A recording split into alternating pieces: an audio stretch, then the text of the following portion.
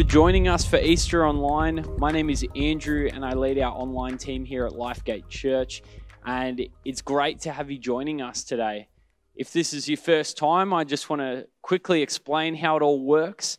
Um, it's not scary. Lifegate Church Online, you can watch and engage in two ways. Either you can put it on your TV, or for the full interactive experience, you can head to www.lifegate.online and you can uh, chat with other people. You can read the Bible along uh, with the message. You can uh, request prayer by clicking the request prayer button.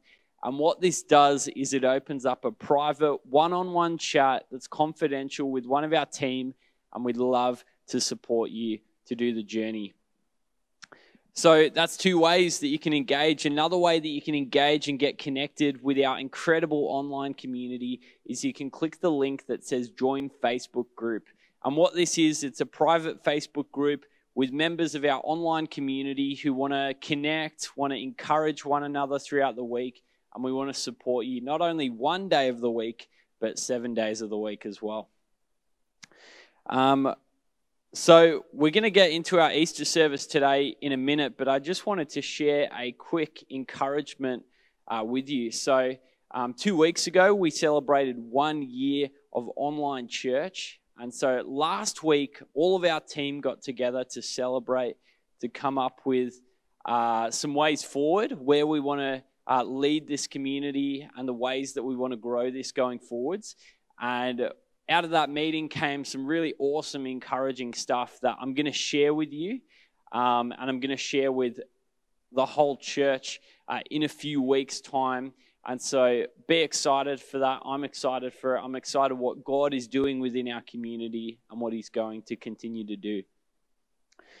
And so today we're celebrating Easter. We're celebrating and remembering what uh, God has done for us through Jesus and through the cross. And so I just want to pray and then we're going to get into our service. So, Father, we thank you so much for what Jesus did for us on the cross.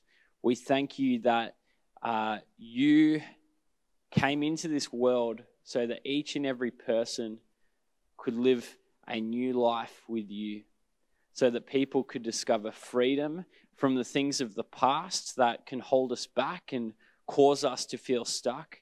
And God, you have a great purpose for each and every one of us moving forwards. And so we just pray as we celebrate Jesus today, we pray that you would help us to remember what he has done and be inspired and respond to you. We pray this in Jesus' name. Amen. Well, we've got an awesome service today. Hope you enjoy it. We're going to check out life this week and we're going to hear what's happening within our church and then we're going to go into the message. Enjoy. This is Life This Week. Welcome to Lifegate Church Online. We encourage you to join our online Facebook group designed specifically for our online church community. There are 168 hours in a week, and church is only one hour. This Facebook group is an opportunity to stay connected and encouraged throughout the week. To join the group, head to lifegate.org.au forward slash online. If you're able, why don't you check out one of our physical locations in Padstow and Prestons in Sydney? The details are on our website. Our team would love to pray with you during online church. You can receive prayer by pressing the request prayer button at any point during the service. This will open up a private chat where you can receive prayer via messaging. Finally, we would like to thank you for your financial giving. Your generosity helps to impact many lives and see people live in the freedom and purpose that Jesus has for their lives. There are two ways to give online via Tithely or by bank transfer. If you would like to give, head to our website, it has all the details. That's it for Life This Week.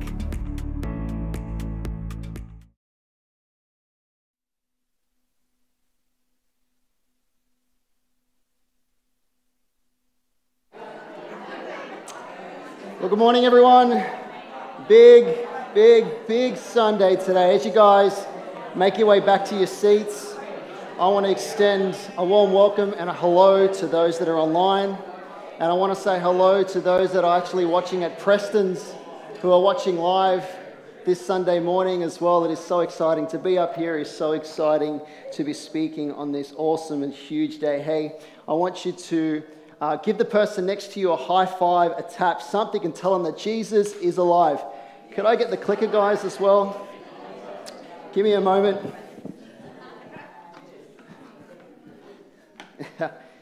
Some technical difficulties earlier this morning. Forget something. Here we go. Jesus is alive. For thousands of years, God's purpose and plan of salvation for his people all culminates at this period in time that Jesus died in our place for our sins and that he rose again for our salvation. And I want to talk about this, this truth of what, what it means for the resurrection in two ways. I want to look at it in two things. One, what does it mean if Christ did or did not rise from the grave? So, what does it mean? And two, how do we know that he came back to life? So, one, what does it mean? And two, how do we know that he actually came back to life? All right, the first one, what does it mean?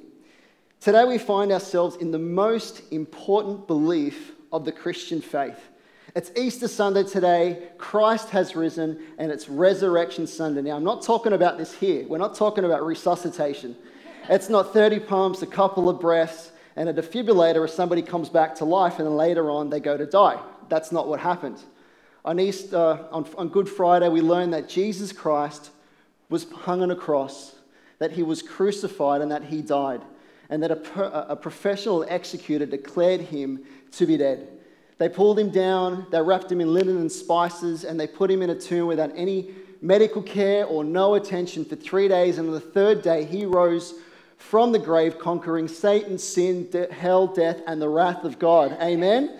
Never to die again, ruling and reigning over all people, all nations, all tribes, King of kings, and the Lord of lords. The Christian faith literally hinges on whether or not Jesus come back to life.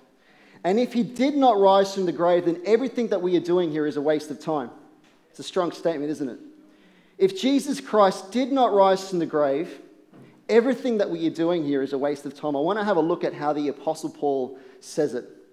He says, And if Christ has not been raised, then our preaching is in vain. What am I doing up here preaching to you this morning if Christ has not been risen? And your faith is in vain. It's useless. It has no point. The fact that you are here listening to me, well, I feel sorry for you if that's the case. And if Christ has not been raised, then your faith is futile and that you are still in your sins. For Christianity, we believe that we are all sinners and that Jesus Christ went to the cross to die in our place for our sins because sin separates us from the love of God. It separates from the relationship of God. And when we put our trust in Jesus, uh, all, of, all of the perfection and all of the love of Jesus Christ and all of his goodness is put on us, and all our sins are put on Jesus. So when God looks at us, he doesn't see us as sinful, but he sees us as sinless. But if Christ did not rise from the grave, then we are still dead in our sins. Then those also who have fallen asleep in Christ have perished. Obviously, Paul has gone and shared the gospel with others and they believed and now they have died. Well, if Christ didn't rise, then they're gone too, that they're not going to rise from the grave either. And if in Christ we have hope in this life only, we are, mo- we are of all people most to be pitied.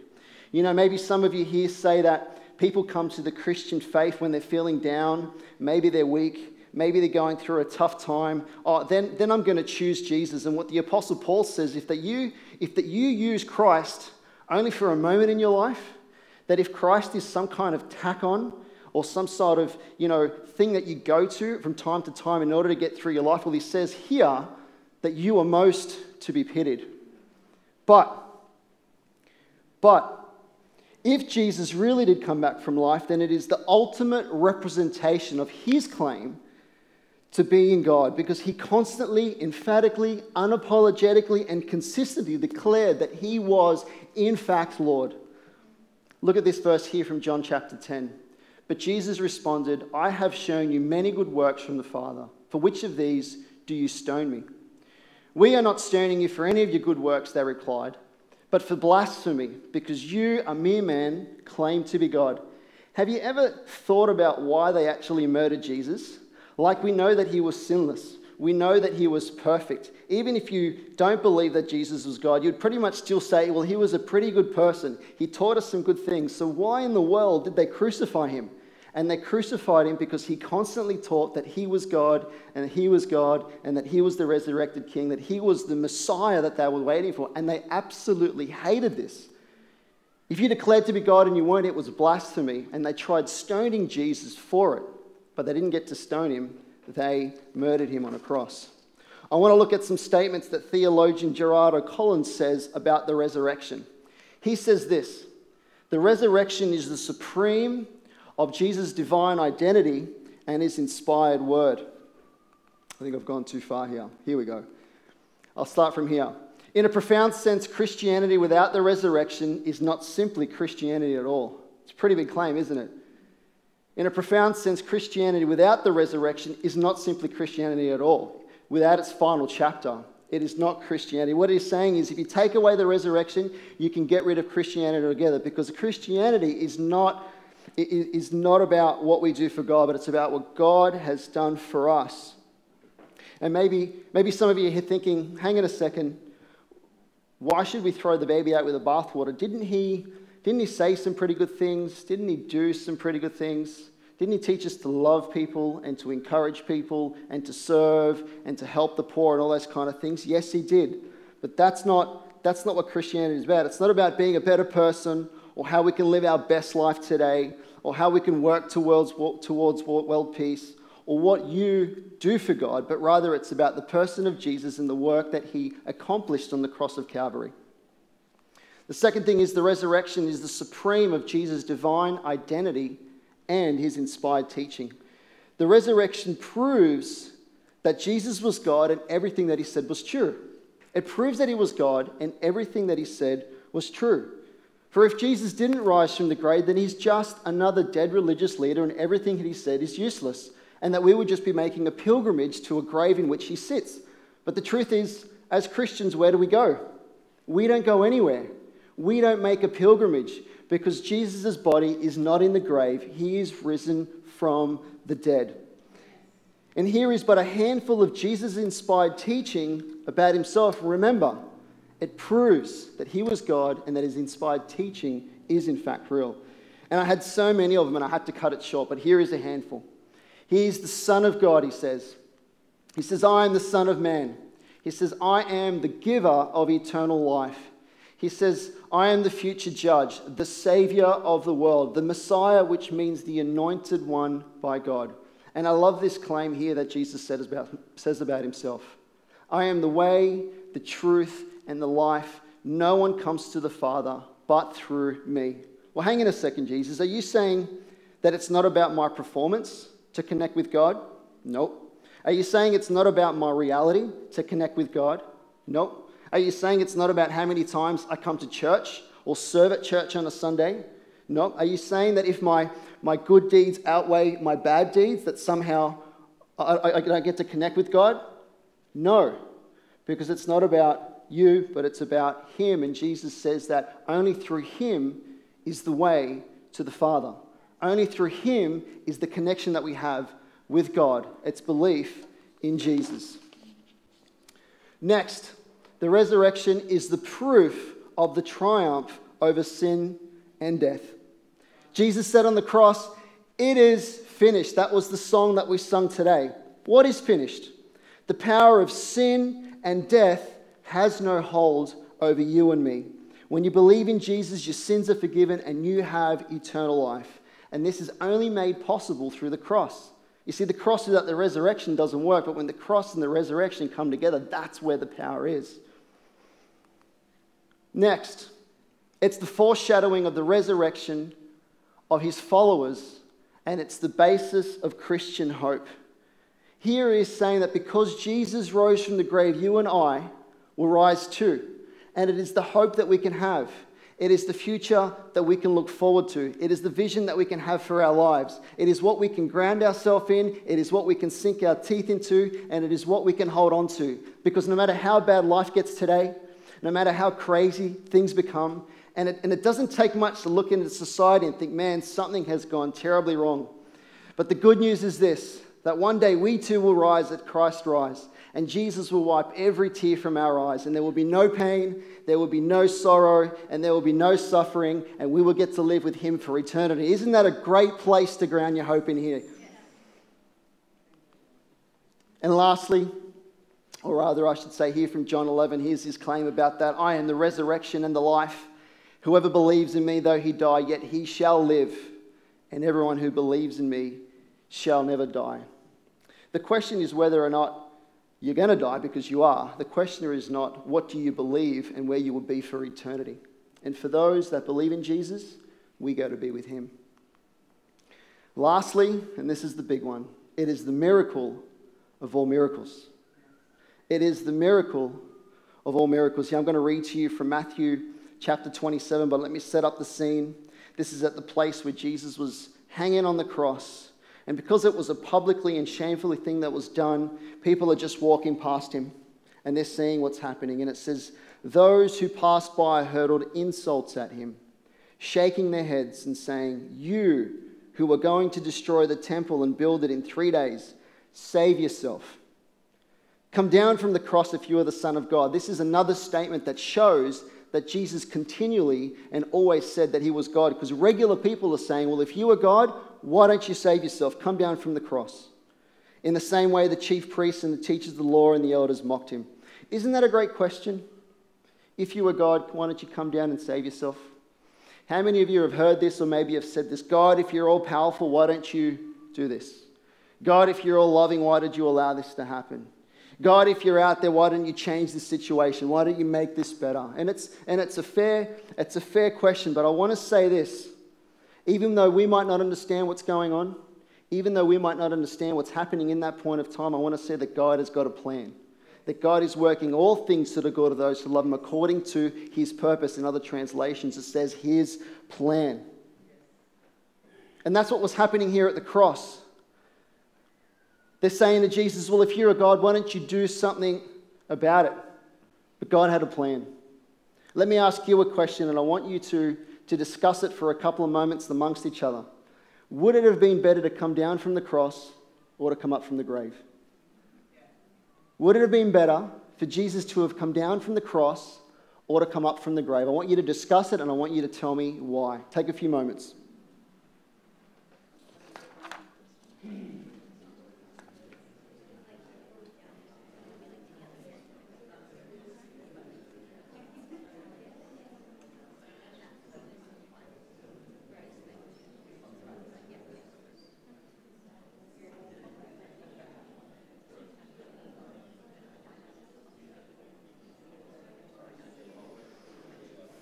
All right, I probably don't want to give you too much time because I'm hoping it's the obvious one and I haven't shot myself in the foot.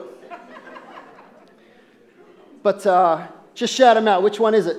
We wouldn't be here. We wouldn't be here if it wasn't for. He stayed on the cross. If he stayed on the cross, we wouldn't be here. What else? What else did you discuss? It was prophesied that he would raise up from the grave. Amen. What else? Was it better for him to come down from the cross or, raise, or come up from the grave? Anyone else? Give you hope. Absolutely. Well, it is the proof that Jesus is who he said he was. And if he is God and the things that he said, that you have to take him seriously and you have to make a choice. Either he was in fact God or he wasn't. And the resurrection, I believe, is the absolute pinnacle of him being the Lord. I'll move on to my second question about talking about the resurrection, and it's this How do we know that Jesus actually came back to life? And there's four things that I want to look at. The first thing is influence, the second thing is family, the third thing is movement, and the fourth thing is transformation. Now, by no means are these the biggest and most important things that you can look at in order to know this is something that I've put together. But if you actually do your research on the amount of evidence and facts of the resurrection of Jesus Christ that we have, it is unbelievable. It stacks up so high. If you are here and you're listening and you're online or you're at Prestons and you don't believe that Jesus actually is God and that he was raised from the dead, just do your research and I can guarantee you you will have a mind blowing experience. Because most people that do that end up going from atheism to believing in Jesus. But here are four things that I'm hoping that if you're a Christian and you've chosen to believe, it'll just give you that extra strength to stand on. And if you're not, well, maybe it'll just give you something to question. So the first thing is this influence. Nobody has influenced the world as much as Jesus. Jesus has had more of an impact on the world than anybody else who has ever lived. Just look at our historical calendar. Like, why do we use Jesus Christ at the focal point in which history revolves around? And what I mean by that is BC and AD. You know, when you're in history class and they're talking about 500 BC, 1200 BC, they're talking about 500 years before the birth of Jesus, BC, before Christ. And anything after the birth of Jesus is AD, Anno Domini, which is Latin for the year of the Lord. Now, I'm wondering why they didn't use any other religious leaders or have a crack at it. I was thinking maybe why didn't they use BM before Muhammad? AA, the year of Allah. No, he didn't get a look in. What about BB, before Buddha? AR, the year of reincarnation. Nope. What about this other guy that's actually BC as well, before Confucius? AU, the year of the universe. How about this one? BA, before atheism, AB, the year of the bang. We don't use any of that, but you get what I'm saying, right? That history literally revolves around the birth of Jesus Christ, and we celebrate it every year. That is known as Christmas. And then we also celebrate the death, burial, and resurrection, which we call Easter, and that is the period that we are in right now. We celebrate that every year. More songs have been written to him, more songs have been sung to him, more paintings painted of him, more books written regarding him, and more lives devoted to him around the world than anybody else in the history of the world. I mean, look at the Bible. The Bible is the number one selling book year in, year out. In fact, it sells so many copies that they had to remove it from the list because any other book that has been written will not make it to number one. Isn't that incredible? Actually, it was interesting when I was reading it, when I was uh, researching this. The only book that comes somewhere near the actual best selling book, of, which is scripture, is the Harry Potter books. Does anybody read Harry Potter? Maybe a couple of you. But they say that Harry Potter has sold somewhere between 500 to 800 million copies. That is quite a bit. But only the Bible has made it to the Guinness Book of Records. And they say they estimate, they don't actually know, and it could be way more, they estimate up to 5 billion copies of Scripture has been sold. For all you math nerds, that equates to 2.5 million a year, somewhere close to around about 7,000 copies a day. 7,000 copies of the Bible a day. And you know who the Bible's all about? Jesus. Did you guys have decaf this morning? What is going on? I don't, I don't know. I'm not hearing you. Hopefully, online and at Prestons, you guys are shouting it out a little louder. But yes, the Bible is all about Jesus, but you get what I'm saying. There is nobody bigger and there is nobody better than Jesus. Amen. There is nobody bigger and there is nobody better than Jesus. He has influenced the world more than anybody in the history of the world. And that just is astonishing. Secondly, how do we know that Jesus came back to life? But I want to look at his family, and this is, this is pretty cool. How many of you have got brothers? How many of you got a uh, twin brother, brother from another mother, half brother, whatever it looks like? Can I get a show of hands? What would it take for you to worship your brother as Lord? Like, what, what would it take for you to worship your brother is Lord. Now, probably some of you are thinking, man, if only I told the authorities about what my brother did to me, he'd probably be in juvenile detention, right? Because brothers can be a little bit chaotic at times, and that was actually me when I was growing up. Ever, ever notice, uh, seen one of these before? This is a cap gun. When I was a kid, I used to love these things. I, I, I just feel, I, I just always want, I just love the sound that it make, and I'd just be shooting off away. But I was quite naughty when I was a kid. If you notice at the front of the tip, there's like a little cap on it.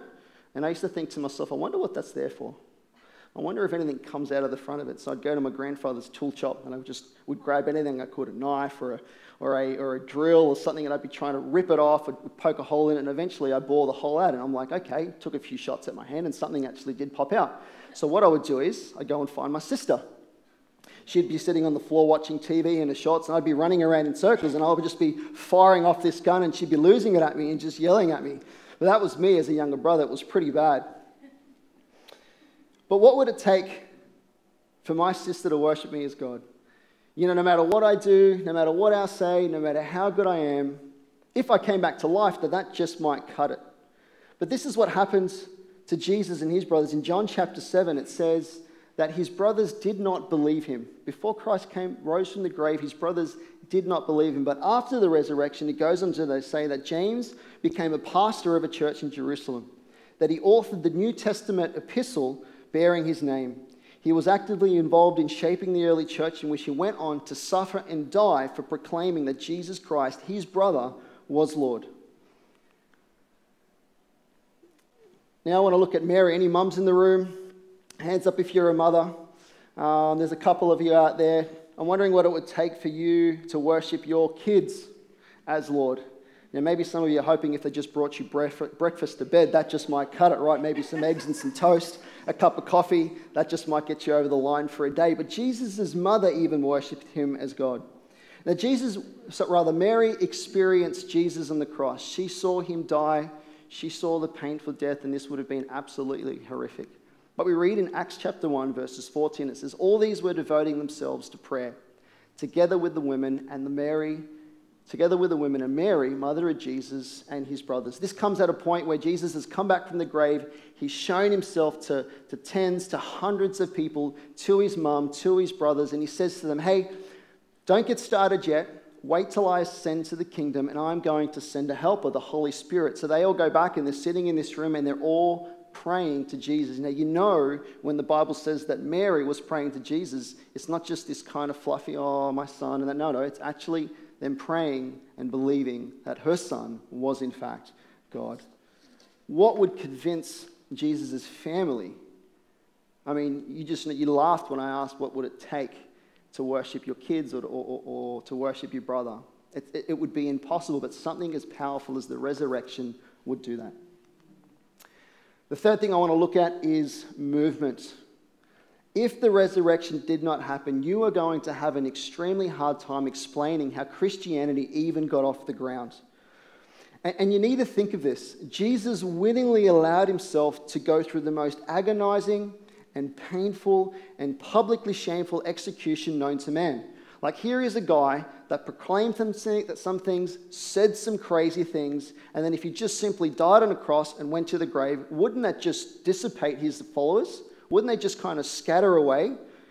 Any person in that kind of pathetic condition would have never inspired his disciples to go and proclaim the message that Jesus Christ is Lord and that he rose from the grave. But that is exactly what happened. That is exactly what happened. And even to add more weight to this point, it's not as if when the disciples were going through the regions and telling people about Jesus that they were throwing flowers and that they were giving them money and that they looked like they were parading around and everything was sweet and calm. It was chaos.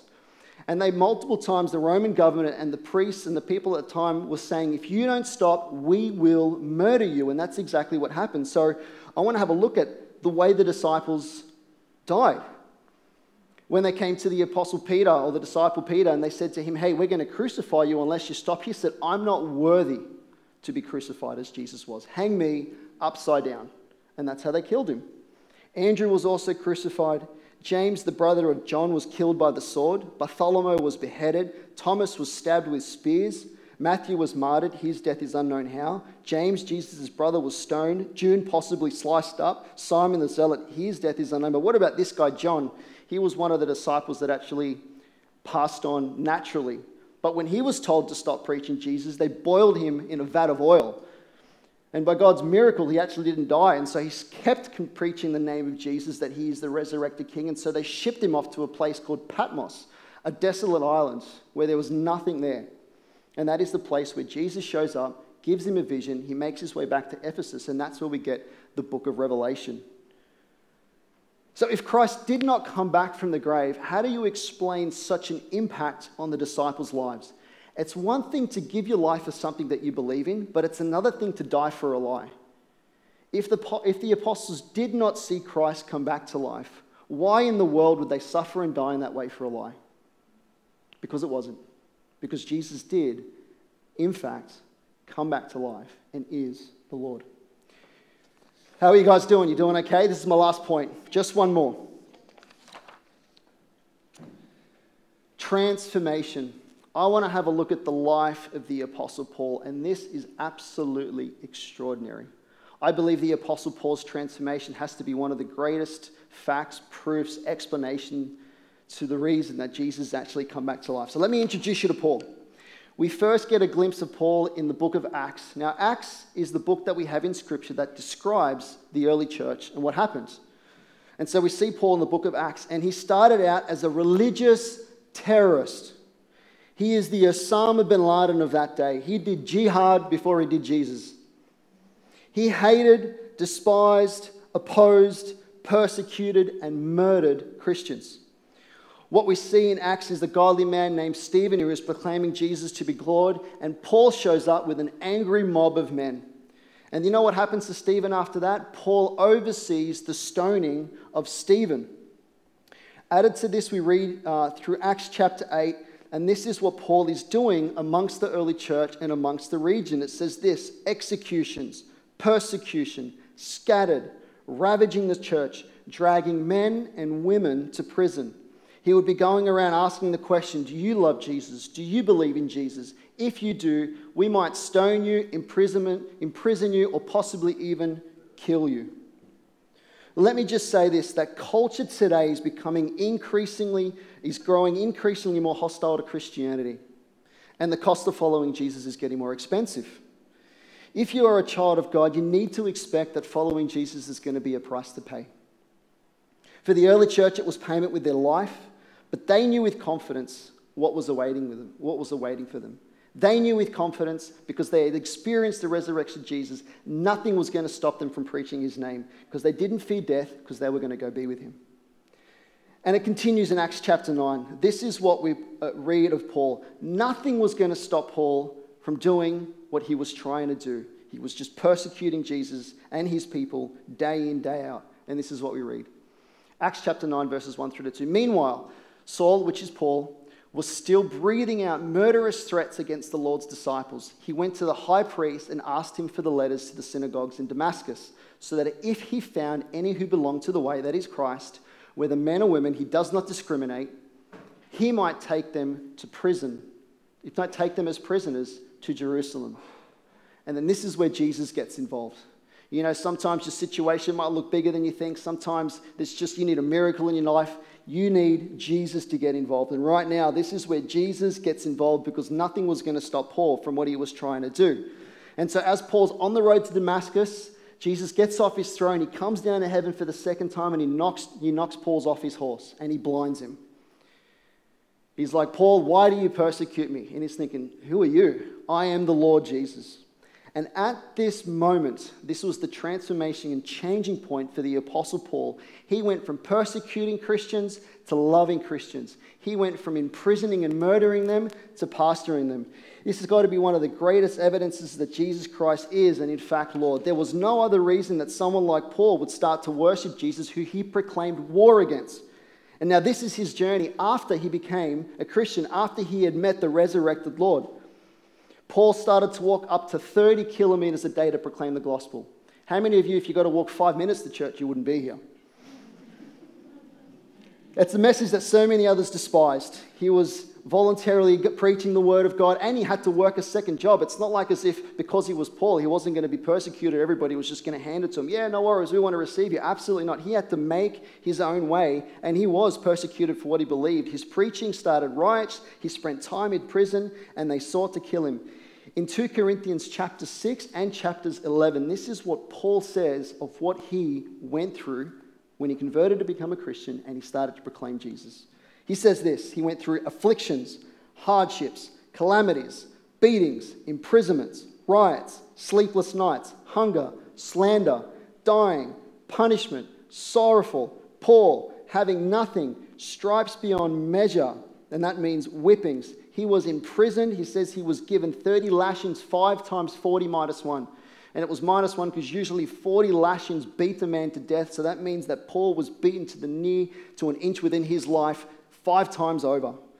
This reminds me of the movie that I watched uh, with Sylvester Stallone uh, in Rambo where he takes his shirt off in the prison and you see the scars all over his back where he was a POW and over the years of time the captors would have whipped him over and over again. This would have been Paul. He would have bore the scars of someone that was beaten repeatedly for the gospel.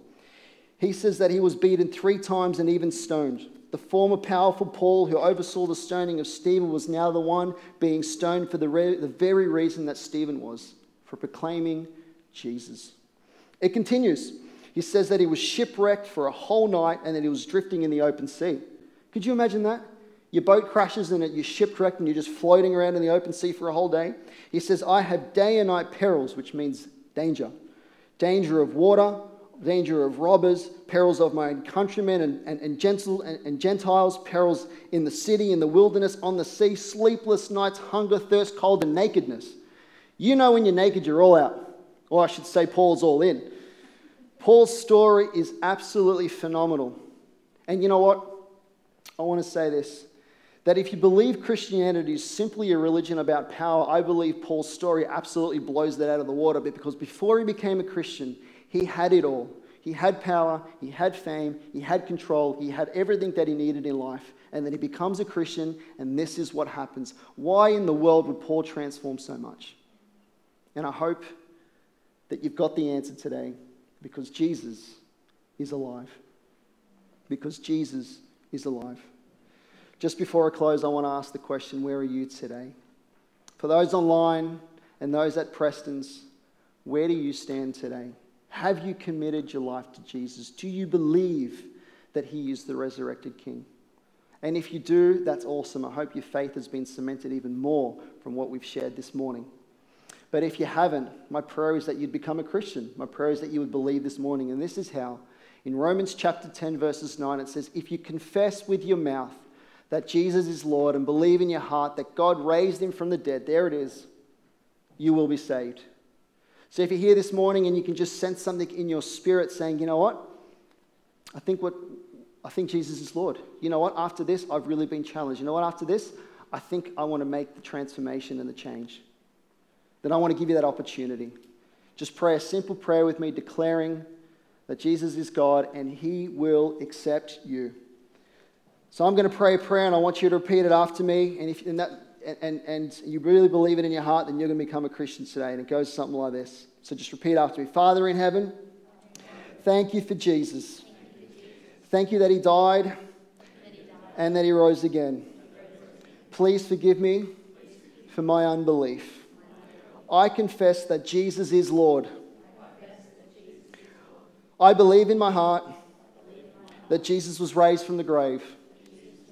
Take me to be with you from this day and forever. Amen. Can we just can we just raise up Jesus and give him a round of applause this morning?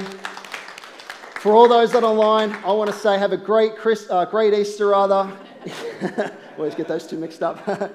Um, have a great Easter. Have a great time. Uh, there's going to be some questions online. If you've got any prayer, prayers, please put them on, and somebody will be there to pray for you. For those that are at Prestons, I'm going to pass you over to the MC, and he's going to close the service for you. And everybody else here, have a great Easter. Have a great time. There's going to be an Easter egg hunt, I believe, after this, and that's going to be awesome. Um, be blessed. Enjoy.